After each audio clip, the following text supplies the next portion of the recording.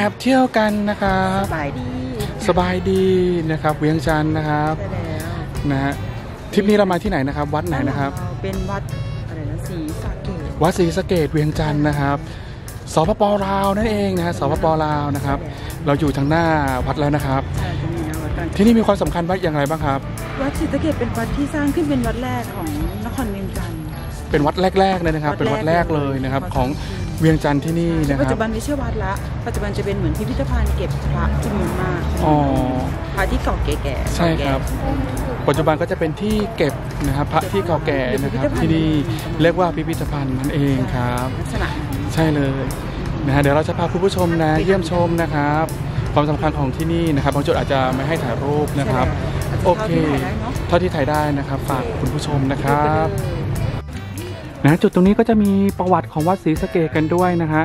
ทั้งภาษาของสปปลาว แล้วก็ภาษาอังกฤษด้วยครับนะที่นี่ก็จะห้ามสูบยานะครับเป็นเขตห้ามสูบยานะเปิดกี่โมงนะครับ8นาฬิกาถึง 17นาฬิกานะครับแปะเปิดที่นี่นะครับค่าผ่านประตูโอเค เราให้ดูตั๋วนิดนึงนะครับ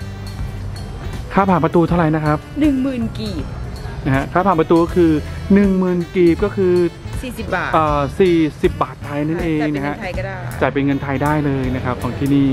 นะฮะ ก็จะมีราคาผ่านประตูอยู่ตรงนี้นะครับ ที่บอกนะครับ ทั้งคนลาวแล้วคนต่างประเทศกันด้วยครับ เดี๋ยวเราจะพาคุณผู้ชมเข้าไปชมความสวยงามด้านในกันนะฮะ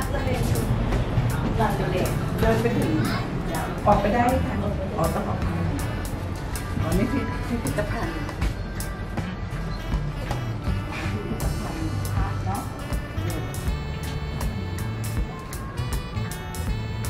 นะเป็นด้านนอกนะครับ ซึ่งด้านในอาจจะไม่ได้ให้ถ่ายรูปนั่นเอง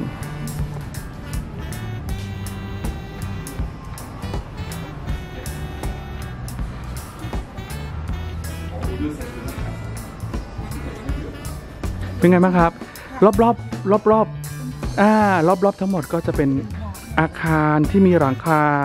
นะเพื่อเก็บอะไรนะครับพระพุทธรูป เยอะไหมครับพระพุทธรูปที่นี่ เยอะหรือน้อยฮะ เยอะมากๆนะครับ รอบรอบวัดนั่นเอง เดี๋ยวเราจะมาดูนะฮะจุดตรงนี้น่าจะอนุญาตให้ถ่ายรูปได้นะฮะข้างในอาจจะไม่ได้นะครับ ก็จะเป็นประมาณนี้เอง เยอะมากครับเป็นหมื่นองค์อะหลายหมื่นองค์มาก ๆเลยนะฮะรอบเลยเรียกได้ว่า เรียกได้ว่ารอบเลยนะครับหลายร้อยปีอะรอบวัดเลยนะครับ รอบที่นี่เลยนะฮะจะเรียกว่าเป็นพิพิธภัณฑ์ใช่ไหมฮะ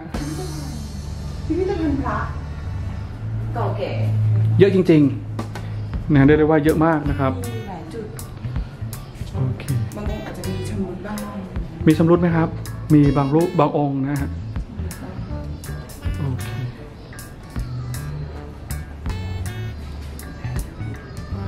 นะครับ ก็จะมีจุดที่เป็น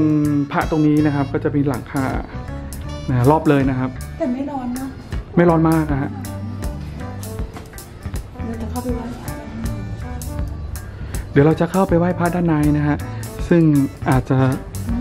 ไม่ได้ถ่ายบันทึกภาพให้กับคุณผู้ชมได้ดูนะครับซึ่งข้างในก็จะไม่สามารถถ่ายภาพได้นะฮะ แต่ก็เป็นอาคารที่ออกแบบสวยงาม ก็จะเป็นลักษณะของของของที่นี่เป็นเอกลักษณ์นะเป็นเอกลักษณ์ของที่นี่เลยนะครับ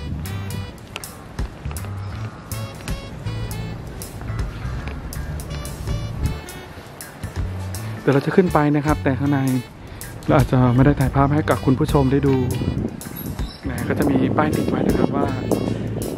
ห้ามถ่ายรูปนะฮะนั่นเองโอเคนะครับเดี๋ยวเราจะเข้าไปข้างในครับ